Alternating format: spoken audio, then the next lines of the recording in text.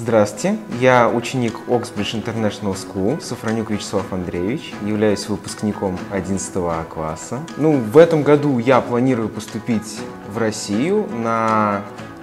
Во всех университетах у меня один и тот же факультет, это бизнес-менеджмент.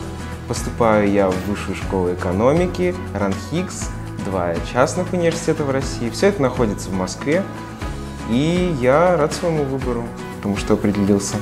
Эту сферу я выбрал, потому что всегда чувствовал свою принадлежность к общению с людьми, организации каких-то мероприятий, созданию какого-то собственного продукта или проектов. Школа дала мне серьезный фундамент почти по всем предметам и даже какую-то общую эрудированность. Школа, я считаю, это одно из, наверное, самых важных мест в нашей жизни, потому что здесь мы получаем первые навыки социальной коммуникации, здесь мы заводим друзей, влюбляемся, получаем наши первые двойки, сталкиваемся с проблемами, решаем их.